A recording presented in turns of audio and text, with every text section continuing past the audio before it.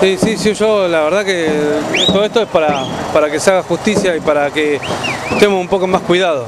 Pedimos más seguridad y, y que se aclarezca esto y que no, no, no, no pase más esto a nadie, porque mi hermano iba a trabajar y, Justamente eso te va a preguntar. ¿Tu hermano iba a trabajar? ¿A qué hora fue más o menos? y fue 4 menos 5 de la mañana, 4 menos 10 de la mañana. Él Eh, vino a tomar el colectivo. Él venía a tomar el colectivo, como todas las mañanas, se toma hasta Moreno y ahí en Moreno pasa a buscarlo el micro de Toyota hasta, hasta el trabajo.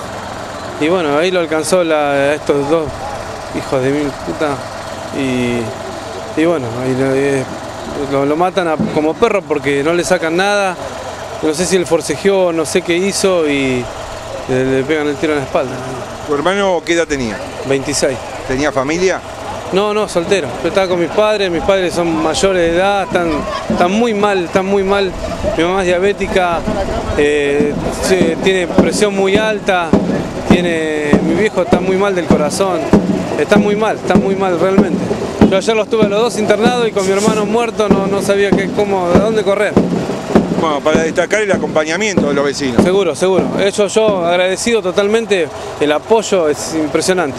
La verdad que impresionante. Yo muy agradecido a todos, la verdad que sí, ojalá que bueno, que todo esto se pase, que sea, que no haya más un Horacio que mi hermano que. Estabas hablando con el comisario Gómez, que tiene a su cargo la comisaría segunda de Trujuy. ¿Qué te dijo con respecto a, lo- a los homicidios de tu hermano? que se está investigando, que se está trabajando. ¿No hay ningún detenido? No, no- no hay ningún- Había uno que no, supuestamente que no tiene nada que ver, pero lo están investigando. Hasta que no, eh, más de eso no se puede decir, está todo en secreto sumario y nada más. Eso es todo. Se está trabajando mucho, supuestamente. En los últimos tiempos hemos hecho varias notas aquí en Cuatro Vientos por la inseguridad. Esto se palpa cotidianamente. Hasta ahora sí, sí. En estos últimos días peor. Volvió de vuelta otra vez a, a salir a la, la inseguridad mal. No podemos salir a, a trabajar, a comprar algo. Una señora se va a comprar, le roban, le pegan.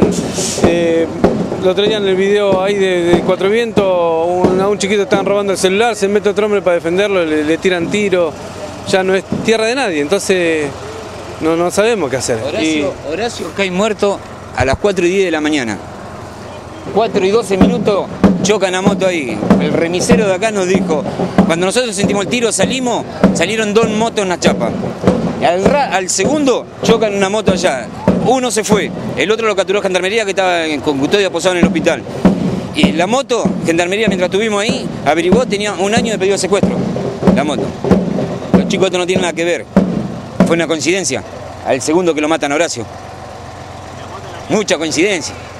Bueno, me imagino que están hartos de esta situación. No, está- demasiado.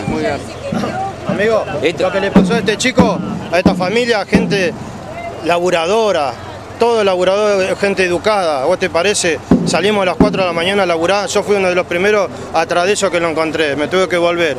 Me tuve que volver porque me, casi me caigo redonda y verlos eh, llorar. Tenemos que salir con la mano en el corazón porque dejamos a nuestra familia solo.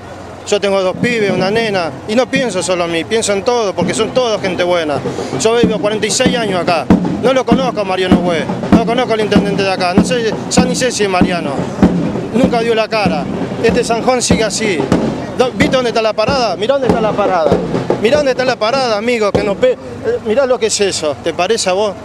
Viste, nadie hace nada, que ahora viene, ahora viene el comisario y quiere que levantemos enseguida. ¿Cómo puede ser que dice que tiene los cuatro patrulleros y los cuatro están acá cortando? ¿Qué? ¿Y el otro barrio no los cuida porque estamos nosotros acá? ¿Me entendés? Mucho dolor tenemos por lo que le pasó a ellos y lo puede, le puede pasar a nosotros y que Dios nos lo permita, que te puede pasar a vos, todo. ¿Te parece que estamos contentos de estar acá? Estamos, eh, yo vengo a las 7 de la tarde a laburar y me vine para acá. Somos ¿viste? todos vecinos, todos vecinos, todos llegados de Horacio. Y si estamos acá, nosotros lo conocemos, refrán, que por ahí en tele después la gente que lo ve dice, oh, en qué agrandado, qué agrandado. No, si estamos acá es porque lo conocíamos. Es un buen un tipazo, loco. ¿Sabés lo que tenía? ¿Sabés lo que tenía en el bolsillo? 146 pesos. Tenía la remera del trabajo y el pantalón de grafa de trabajo. Tampoco vale una vida, hermano.